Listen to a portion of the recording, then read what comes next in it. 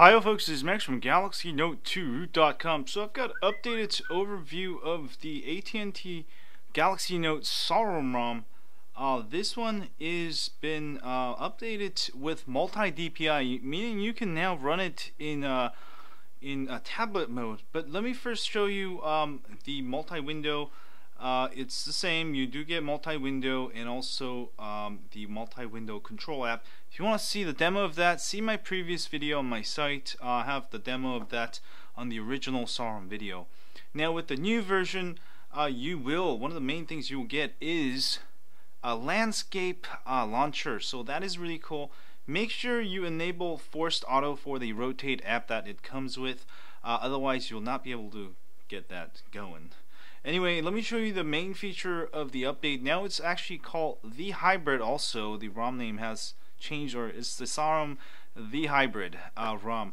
So to change the uh, DPI or the LCD density, go to ROM Toolbox Lite, um, go to build.prop editor, and you'll be able to scroll down all the way down to LCD density. You can change either of these. They're actually the same things. Um, so let me go ahead and change it. If you want tablet mode, um, you probably want something like 180. Anything between 160 to 200 will get you probably tablet mode. And uh, 320 is default. Don't go any higher. I've had problems. I, uh, my TouchWiz launcher would force close on me. This is really for those of you who want to get, um, you know, make your phone so you can fit more stuff. So let me show you. This is all zoomed out. Galaxy. This is my site, Galaxy Note 2 Root. You can see uh, all the way to TPU case with kickstand. It kind of cuts off there. Let's use that as a test um, and change the density, density. I mean, so you can change the difference, uh, see the difference. Sorry. Uh, so 320 to let's go to actually 220, and let's see uh, what that does. And you'll have to reboot. Um, so say yes. And uh, the DPI stands for dots per inch. So if it, you know, it's smaller um, so you get you know larger screen in your screen. Um, this is going to be actually great uh, once we have 1080p screens next year. Uh, but for right now, you know, I, I kind of like it on the default 320. But for those of you who have really good eyes, um, I am very nearsighted and I have very bad eyes, so small letters are really bad for me. It hurts my eyes. Uh, you can see right away that you it's you know it's a higher resolution or whatever you want to call it. Um, the launcher itself, it doesn't look like anything's changed much, but if you actually go open up the browser, uh, and you'll see the difference here. Um, you might get force close. Um, see, you you want to, you might have to do it a little bit less. Uh, so let me go ahead and change it back to something a little bit higher. Um, let me see, 220 is probably a little bit too small. So let's go to like 280. That should still work just fine. And if you go to 160, you'll actually it will actually change into tablet mode. Um, but I, have been having uh, force close problems. Um, so, but let me show you this real quick. I'll be back. There we go. This time it should work a little bit better. I hope so.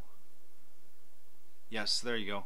And let me go to uh, Galaxy Note 2 root and you'll see that you'll be able to see more of the thing. So there is you can't go too low otherwise you get some errors with some of the apps even though um, even though it's supposed to fix it. But um, this is still very experimental but um, you know if you don't have to use DPI which I don't personally it's a great ROM you know otherwise um, and uh, that's what I use it for. But um, you can make it if you if you make it a slightly smaller you can obviously see more um, so that might be the best option right now.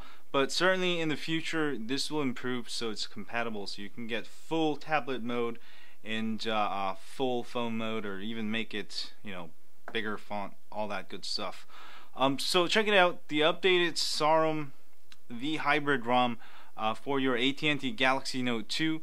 Please do not flash on any other ROMs, uh, any other phones. Sorry. I was actually uh, I had a Galaxy S3 T99 T999 and I was I was uh, watching TV and I was all downloading and flashing these ROMs and you know I have a T-Mobile Galaxy S2 I have a T-Mobile Galaxy um, S3 and also T-Mobile Galaxy Note 2 uh, for some odd reason I thought you know a ROM for a Galaxy S2 is for my Galaxy S3 so I loaded on my Galaxy S3 and uh, hardbricked it. So I sent it to Mobile Tech Videos. They're gonna fix it, but um, it sucks. So when you flash ROMs, just make sure you download the correct ROM for your phone. Then you'll never break. And uh, if you break your phone by flashing another ROM, it's your fault. Don't you know? Don't yell at people. It's your fault. You know, go fix it. Anyway, just an advice. Um, try out this ROM. Let me know what you think, and uh, I'll see you guys later. Uh.